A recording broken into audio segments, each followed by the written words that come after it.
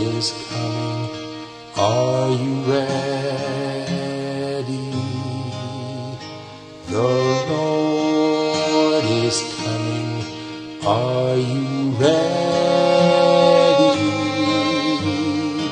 Would your heart be right if he came tonight? The Lord is coming. Are you ready?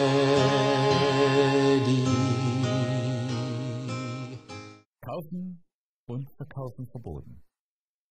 Und das niemand kaufen oder verkaufen kann, wenn er nicht das Zeichen hat, nämlich den Namen des Tieres oder die Zahl seines Namens. Es kommt die Zeit, in der wir um keinen Preis etwas verkaufen können. Bald wird ein Dekret erlassen werden, das Menschen das Kaufen oder Verkaufen verbietet. Es sei denn, sie haben das Mahlzeichen des Tieres. Im letzten großen Streit mit Satan werden alle, die Gott treu sind, sich von jeder irdischen Unterstützung abgeschnitten sehen.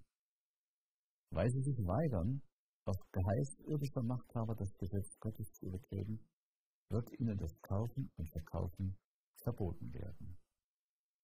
Religiöse Mächte, die bekennen, mit dem Himmel verbunden zu sein und behaupten, die Eigenschaften eines Lammes zu haben, werden durch ihr Handeln zeigen, dass sie das Herz eines Drachen besitzen und von Satan angestiftet und beherrscht werden. Es kommt die Zeit, der Gottes Volk den Zugriff der Verfolgung spüren wird, weil es den siebenten Tag heiligt. Es wird eine Zeit kommen, in der Menschen, die die Gebote halten, weder kaufen noch verkaufen können. Beeilt euch deshalb, eure verschütteten Talente auszugraben. Wenn Gott euch Geld anvertraut hat, dann erweist euch als treuer Verwalter des Anvertrauten. Knotet eure Sacktuch auf und bringt eure Zentner zu den Wechseln, damit Christus bei seiner Wiederkunft das Seine mit Zinsen in Empfang nehmen kann.